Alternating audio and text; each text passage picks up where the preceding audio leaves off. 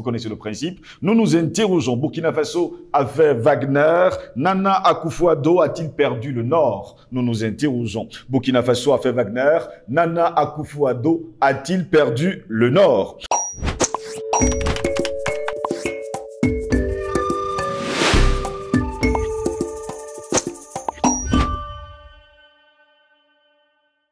Qu'il est bon de vous retrouver tous les jours sur Panafricaniste TV, votre chaîne de télévision qui vous apporte le meilleur de l'information sur un plateau d'or. Mesdames, Messieurs, bonjour. Bienvenue à toutes et à tous à cette autre édition de Parole panafricaniste. Le Burkina Faso a convoqué vendredi dernier l'ambassadeur du Ghana pour exprimer sa désapprobation après les photos du président ghanéen Nana Akufo-Addo qui avait affirmé que le Ouagadougou avait conclu un arrangement avec le groupe paramilitaire russe Wagner. Le ministre délégué chargé de la coopération régionale, Karamoko Jean-Marie Traoré, a traduit la désapprobation du gouvernement burkinabé envers ces déclarations du chef de l'État du Ghana, indique d'ailleurs un communiqué du ministère des Affaires étrangères. Ces déclarations sont graves et inexactes, a ajouté d'ailleurs une source gouvernementale qui a précisé que l'ambassadeur, oui, burkinabé, en poste à Accra, a également été rappelé pour consultation. L'information a été confirmée donc par une autre source gouvernementale ghanéenne. Mercredi, mesdames, messieurs, lors d'une entrevue aux États-Unis, eh bien, avec le le secrétaire d'État américain Anthony Blinken, le président ghanéen Nana Akufo-Addo avait assuré que le Burkina Faso avait conclu un arrangement pour, comme le Mali employait des forces de Wagner. Je crois qu'une mine dans le sud du Burkina leur a été allouée comme une forme de paiement pour leur service, avait-il ajouté, précisant que selon lui, les mercenaires russes sont à la frontière nord du Ghana. Pourquoi est-ce que Nana Akufo-Addo se mêle des histoires d'un autre pays, d'une autre nation Lui qui, jusqu'à preuve de contraire, est englué dans une histoire de corruption et surtout englué dans une affaire avec le Fonds monétaire international? D'ailleurs, ils sont nombreux les Ghanéens dans les rues depuis quelques semaines pour demander sa démission immédiate. Et pendant ce temps, lui, s'occupe plutôt des affaires du pays des hommes intègres. Eh bien, mesdames, messieurs, lors de son entretien avec le ministre, l'ambassadeur du Ghana, Boniface Gambila Adarbila, a assuré que les propos de son président, je cite, ne visaient pas à condamner le Burkina Faso, ni à semer le doute dans les esprits. Selon le compte rendu de la rencontre publié par le ministère des Affaires étrangères burkinabé, l'intention était surtout d'attirer l'attention des partenaires afin de susciter un grand intérêt à l'endroit du Burkina Faso, a ajouté l'ambassadeur cité dans le communiqué. En réponse, le ministre Traoré a estimé que le Ghana aurait pu entreprendre des échanges avec les autorités burkinabées sur la question sécuritaire avant afin d'avoir de bonnes informations. D'autres, on va le dire comme ça dans plusieurs pays d'Afrique francophone, Moscou, jusqu'à preuve de contraire, mène une campagne contre le terrorisme, d'ailleurs financée, entretenue, on le sait déjà, le Mali nous l'avait dit, par la France. Et jusqu'à preuve de contraire, on a l'impression que sur le continent africain, la France veut revenir par une entourloupette avec justement, on va le dire, les hommes à sa charge. C'est le cas justement de Nana Akufo-Addo. Voilà pourquoi nous nous interrogeons encore ce matin. Burkina Faso a fait Wagner. Nana Akufo-Addo a-t-il perdu le Nord Pour répondre à nos questions, nous sommes avec Albert Anatola ici, qui est notre invité ce matin. Albert Anatola ici, bonjour, bienvenue à vous. Bonjour à vous, Steve Longo. J'ai dit bonjour à vos millions de téléspectateurs et de téléspectatrices. Bonjour à vos techniciens.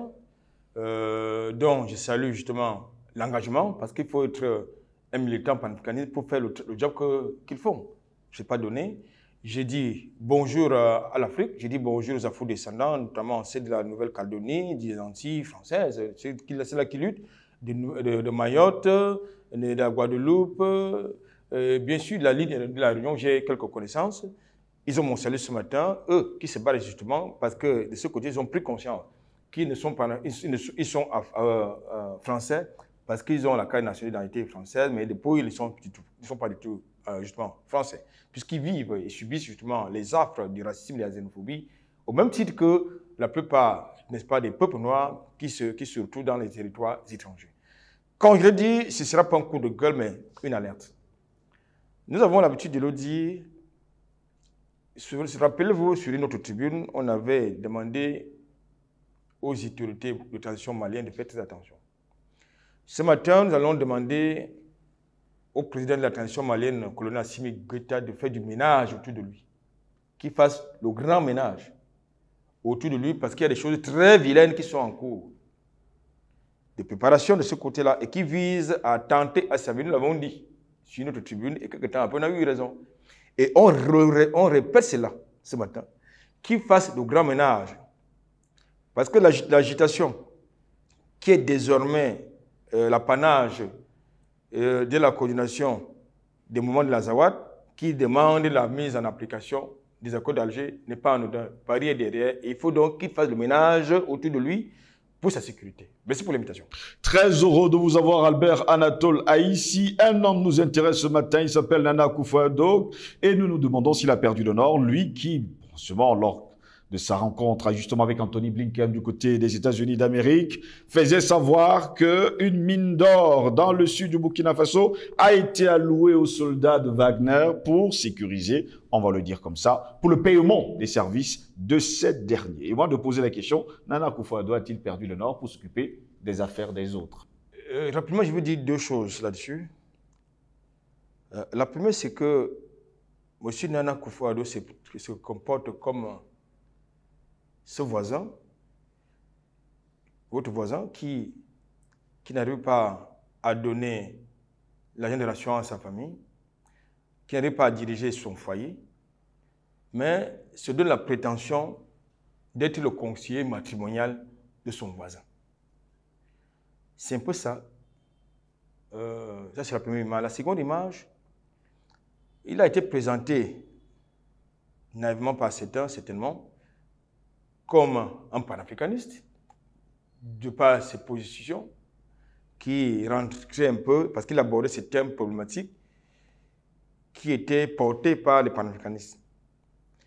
Il y en a d'autres qui ont pensé naïvement que M. Akufo-Addo était un panafricaniste.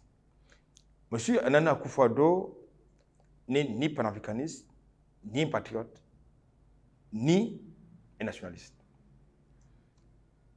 La preuve, ce n'est pas nous, qui le disons. Oui. C'est Jupiter qui nous le dit. Les éléments, les documents existent. En son temps, je crois qu'il était le président de la commission de la CDAO.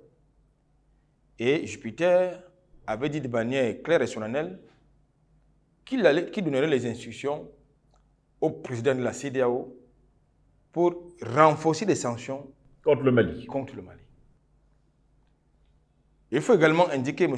Nana c'est un franc-maçon. Donc, il est dans leur milieu de frater. C'est son droit le plus absolu. Mais là où ce n'est pas son droit le plus absolu, c'est qu'il a des problèmes chez lui, dans son propre pays. Non seulement il a le problème de corruption que vous avez évoqué, vous avez des problèmes euh, euh, d'endettement, vous avez la crise à la fois sociale, politique, mais également économique qui sévit chez lui, il n'en parle pas. Peut-être parce qu'il héberge sur son territoire d'Amiba qu'il a peut-être, euh, qui se donne peut-être la liberté de s'occuper des affaires de notre pays. Je pense que là, il veut également les dispositions de leur instance communautaire c'est-à-dire la CDAO, où il devrait avoir des liens de solidarité entre les États signataires de, de cette affaire-là. Et il montre clairement sa position sur, à la fois, nous avons vu sa position sur le Mali, oui. nous voyons également sa position sur le Burkina Faso. Ça veut dire qu'il a un problème avec des révolutionnaires. Et puisque lui, il a un problème avec des révolutionnaires, il deviendra un problème pour nous. C'est important de le préciser. Parce qu'ils travaillent non pas pour l'Afrique, ce sont des gens qu'il faut jeter dans la poubelle, carrément, l'histoire, et ne plus en parler. Vous jetez dans la poubelle, vous fermez le couvercle et vous balancez, dans n'est-ce pas, dans la déchetterie. C'est ce genre de personnage. Il n'est pas différent de celui qui est à Abidjan. Donc, il s'agit là de l'ingérence. Vous l'avez également souligné dans votre papier.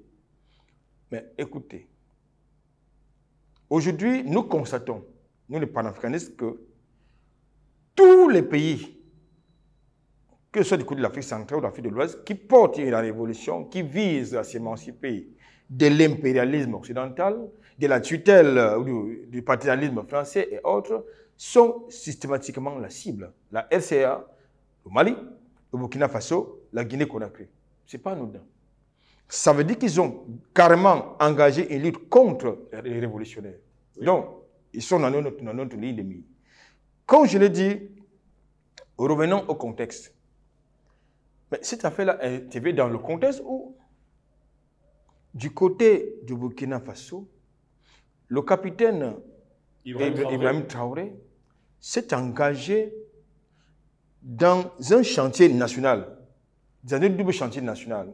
Premier chantier, la sécurisation du territoire, dans le cadre de la lutte contre à la fois les groupes armés et les groupes terroristes.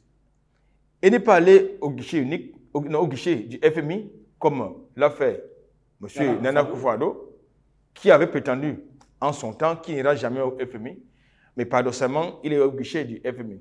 Donc, parce que justement, les révolutionnaires du Burkina Faso ne sont pas allés faire la manche du côté des institutions financières de Bretton Woods, ça lui pose un problème.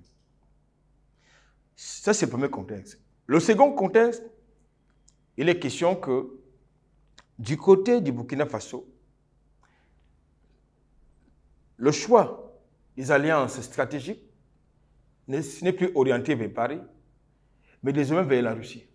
Et puisque la Russie, c'est devenu l'ennemi numéro un des mondialistes sur le continent africain, eh bien, tout ce qui est russe devient un problème pour les mondialistes, puisqu'il y en a sur le continent africain, il en, il en, est un monsieur, Nana Koufado. Ça, c'est le second contexte. Le troisième contexte, c'est quoi? C'est que aujourd'hui, vous avez une rupture qui est carrément engagée au niveau de la nationalisation des contrats miniers, c'est faut le dire, qui, que le, le prédécesseur d'Ibrahim Traoré avait signé avec ce que vous connaissez. C'est-à-dire, ils ont les enseignes françaises, ils ont les enseignes britanniques, ils ont les enseignes américaines, ils ont les enseignes chinoises. Même si ils ne sont pas en avant, les Chinois, mais ça compte.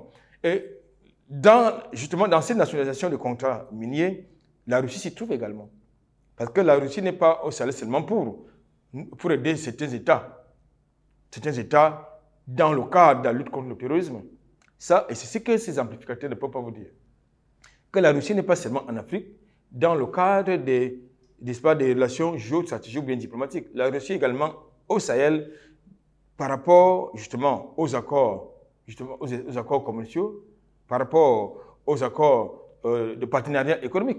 C'est important de le préciser. Donc, voilà donc le triple contexte dans lequel intervient la sortie justement de monsieur le mondialiste Nana Akufo-Addo. Ce qui me pose problème, oui. c'est la tentative de rectification des propos de M. Nana Akufo-Addo par son diplomate. Mais entre la, la voix du diplomate et celui, et, son, et celui de, et celle de son président, quelle est celle qui est plus audible? Il me semble que c'est la voix de M. Nana Akufo-Addo qui est la plus audible et qui est, qui est celle qu'il faut plus prendre en considération. Donc, le qui lavage, pour parler comme nous parlons chez nous, c'est-à-dire euh, le fait de vouloir arranger, arrondir les angles par rapport au narratif, à la sortie malheureuse et honteuse de M. Nana Koufado, c'est-à-dire, lorsqu'il parle de sortie malheureuse, je parle de quoi? Je parle de la délation. Lorsqu'un président de la République descend à ce niveau, propager, les, les, propager des, fausses nouvelles sur un État, il mérite le mépris. Il mérite notre mépris. Parce que du, fait du poids que revêt, qu'implique sa fonction, du fait de, son âge, parce que Nana quand même, il n'est pas, il n'est pas, pas un trentenaire, c'est un septuagénaire. Donc quand quelqu'un qui est considéré en Afrique comme étant un savoir un patriarche descend à ce niveau, au bas du caniveau, il mérite tout sous notre considération. Donc je pense qu'aujourd'hui, lorsque vous, avez ces gens, lorsque vous avez ces gens qui tissent sur vous, comme c'est le cas en FCA qui est désormais présenté comme un pays qui ne respecte pas les droits de l'homme, comme si eux, ils, en respectent, ils, respectent, ils respectent les droits de l'homme. Quand vous avez un État comme le Burkina Faso qui s'est engagé dans le sankarisme, c'est le dire, et qui subit les, les, justement les foudres, euh, les foudres, n'est-ce pas, des mondialistes, ça veut dire que vous êtes sur la bonne voie. Albert Natola ici, Nana Koufouado est-il devenu aujourd'hui le chien de garde de l'Occident? Tout à l'heure, j'ai parlé de collabos il n'est pas, pas, que chien de garde, il est, c'est un collaborateur. Et ils sont pleins comme ça. C'est un collaborateur qui travaille non même pas pour euh, le Ghana, la poste qui n'a rien. Il travaille pour la couronne britannique. Il travaille pour la France, puisqu'il a les amis de ce côté-là. Macron, il a, il a les amis des deux côtés de la Manche. Donc, il travaille pour eux, il travaille pour les Américains. Il sort d'où? Lorsqu'il arrive, lorsqu'il est président de la République. Il, a fait ses études. Il a passé une plus grande partie de sa vie du côté de la Grande-Bretagne, du côté du Royaume-Uni. Donc, il a justement des, il a de très bons contacts de ce côté-là. Donc, il travaille pour la couronne britannique. Ça, c'est clair. Donc, c'est un collabo. Et nous savons comment on traite le collabo sur le continent africain, en tout cas dans la dynamique de la lutte. Les collabos on, sont les bannis, sont les traitent autrement. On les traite, comme tels. Donc, je crois qu'aujourd'hui, il ne s'en cache pas d'ailleurs, puisqu'il met à la, sur la place publique les problèmes qui ne concernent pas son pays. Il se mêle des problèmes qui concernent un État voisin, qui est d'ailleurs un État, un pays frère, d'après ce que j'entends, j'ai entendu de son narratif précédemment. Donc, ça veut dire qu'il y a un problème. Ça veut dire que les autorités burkinabées, au-delà de tout, doivent se méfier de ce personnage. Ils doivent se méfier de ce personnage autant qu'ils doivent se méfier de celui que celui-là a accepté d'héberger sur leur territoire qui a commencé à vendre le Burkina Faso aux mondialistes, à l'appellation internationale, je parle de Damiba. Je vous poserai donc une question sur le lieutenant-colonel Damiba. Est-ce qu'il est, aujourd'hui du côté du Ghana comme base arrière pour revenir au pouvoir au Burkina Faso dans les jours à venir et que Nana Akufo-Addo le garde justement pour que l'Occident finisse par l'aider à revenir à la tête du Burkina Faso? Toutes les, options sont sur la table. Lorsque vous avez observé un peu les postures de M. Nanoumako Fouado dans le contexte des sanctions contre le Mali, dans le contexte des sanctions contre la Guinée-Conakry, dans le contexte des sanctions contre le Burkina Faso, quelle a été sa posture? Il a eu une posture teigneuse contre les autorités de ces pays que je viens de citer. Il en a fait une affaire personnelle. Ça veut dire quoi? Ça veut dire que dès lors qu'il accepte que Damiba devienne un exilé politique dans son pays et que ces derniers font des déclarations politiques à partir du territoire ghanéen, c'est clair. Les choses sont très claires que M. Nana Koufou-Addo est devenu l'ennemi numéro un de Burkina, de Burkinabé du Burkina Faso. Et c'est ne soyez donc pas surpris que dans les mois ou les jours à venir, une troisième colonne parte du Ghana pour le Burkina Faso. Il faut donc justement dire quelque chose de très clair aux, autorités, aux autorités burkinabées, qu'elles soient vigilantes. Maintenant, revenons à la question qui concerne le fond du problème, c'est-à-dire euh, la présence de Van du côté du Burkina Faso. Je pense qu'il y a quelques jours, vous et moi avons animé une thématique portant sur les sociétés militaires privées. Aujourd'hui, Van, s'il existe, cette société-là, militaire privée, et subit le bashing. Subit le bashing comme étant une société de mercenaires. Je vous ai également dit lors de, cette, pas, de cette émission que tous les, tous les États européens ont utilisé les sociétés militaires privées à travers le monde, surtout, sur le continent africain, en Asie du Sud-Est et en Europe de l'Est. Mais personne n'en parle. Au premier rang, vous avez les États-Unis. En second lieu, vous avez justement la France. Je vous ai donné quelques noms, n'est-ce pas, des sociétés, des mercenaires, et qui, qui ont des accointances, des liens, des directs avec le ministère des Armées. Mais on ne présente pas ces sociétés militaires privées sur le continent africain comme étant des mercenaires ou bien des sociétés de pillage. Non, il y a un terme politiquement correct qu'on utilise pour les présenter. On les appelle les coopérants militaires. Donc, on refuse à ceux qui sollicitent d'autres choix stratégiques avec la Russie le narratif d'instructeurs russes. Il y a un problème.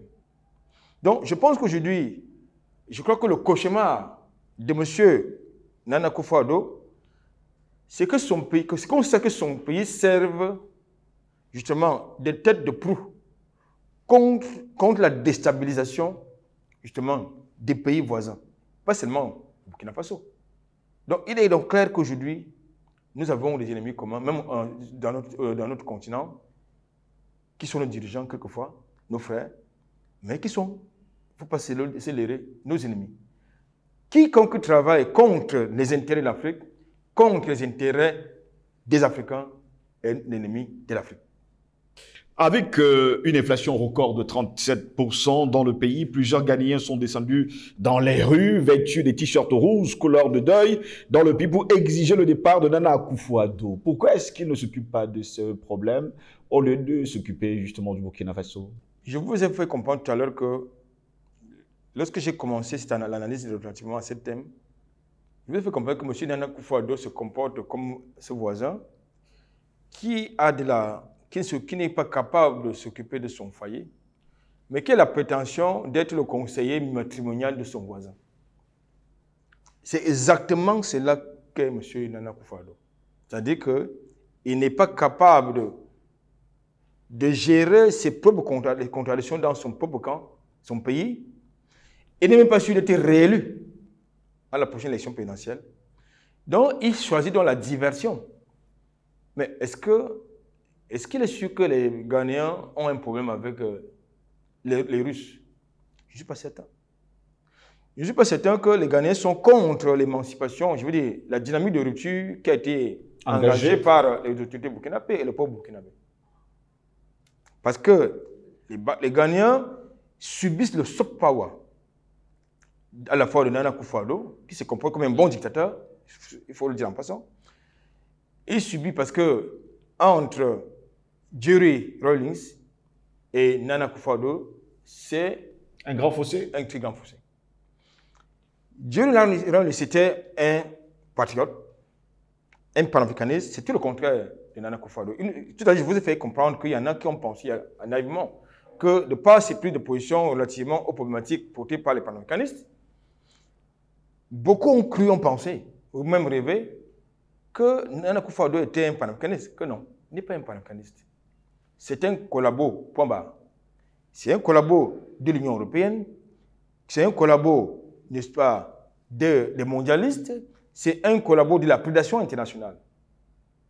La preuve, avant lui, le Ghana n'avait pas connu une telle inflation, oui. une telle inflation, une telle récession économique, une telle crise sociale. Pourtant, il avait dit lorsqu'il arrivait à la tête du Ghana qu'il n'irait jamais au Fonds monétaire international. Chose curieuse, au cours de cette année 2022, qui va s'achever très bientôt, en mars dernier, il s'est présenté au guichet de cette banque. En Afrique, la parole d'un patriarche vaut de l'or, parce qu'elle ne soit pas n'importe comment. Un patriarche, ça ne passe pas n'importe comment. Mais lorsqu'un patriarche vous dit quelque chose et qu'il fait le contraire, vous le considérez encore comme un patriarche? Du tout. C'est un menteur. C'est un prétentieux. Donc je pense qu'aujourd'hui, c'est quelqu'un qui qu'il faut carrément mettre de côté, comme je vous l'ai dit tantôt. C'est-à-dire quelqu'un qu'il faut mettre dans la poubelle l'histoire et que la prochaine élection présidentielle au Ghana, qu'on le mette de côté. Parce qu'il travaille contre les intérêts de l'Afrique, du manière générale, contre les intérêts du Ghana, parce que il est, non seulement il est embarqué, englué dans les affaires de corruption, mais également de détournement. Avec son frère, oui. Il est engagé dans les affaires de détournement, de contrats illicites, d'enrichissement illicite, c'est important également de le dire. Au profit de qui? Des sociétés écrans à la fois françaises, britanniques ou bien européennes. C'est également important de le dire. Donc, je crois que, j'ai oublié, américaine. Donc, c'est important de le dire. Je crois qu'aujourd'hui, il est clair, tout est clair, que lorsque quelqu'un vous dit, je ne vais pas au FMI, en mettant sur la table les indicateurs macroéconomiques de son pays comme étant ouverts et que quelques mois après, il fait le contraire. Dans la culture anglo-saxonne, qu'est-ce qu'on fait? On démissionne. Jusque-là, il n'a pas encore fait. Pour terminer, Albert Anatole, ici, pour bon nombre de panafricanistes aujourd'hui, il faudrait que le Burkina Faso fasse très attention dans le nord du pays, avec la frontière avec le Ghana, parce que par là pourrait passer, on va le dire ainsi, une colonne pour s'attaquer justement aux intérêts du pays des hommes internes. Il n'y a même pas que, il n'y a pas que euh, la frontière avec le Ghana, il y a la, frontière avec euh, la Côte d'Ivoire. Parce qu'il y, a, tant que vous avez Barkhane qui, est qui, se, qui, se, qui, se, qui se trouve au niveau des trois frontières, le danger demeure à l'intérieur du pays. Je crois qu'il est tout à fait légitime, et c'est le droit le plus absolu des autorités, des autorités burkinabées, d'opter, d'opérer d'autres choix stratégiques. Et je pense que de ce point de vue, le capitaine Ibrahim Traoré n'a pas fait euh, preuve, je veux dire, euh, euh de dérégévisation là-dessus. Il était clair qu'il est question pour le Burkina Faso de changer de partenaire stratégique. Et il est clair que le Burkina Faso a choisi comme partenaire stratégique la Russie. Ça, il faut le dire. Il est également clair que l'idéologie politique actuelle du, du capitaine Ibrahim Traoré, c'est le sans-charisme. Je crois que nous avons beaucoup d'éléments symboliques qui nous confortent dans, cette, dans ce sens-là. Donc, et ça pose problème à ceux qui ont l'habitude de comploter contre les dirigeants visionnaires et patriotes.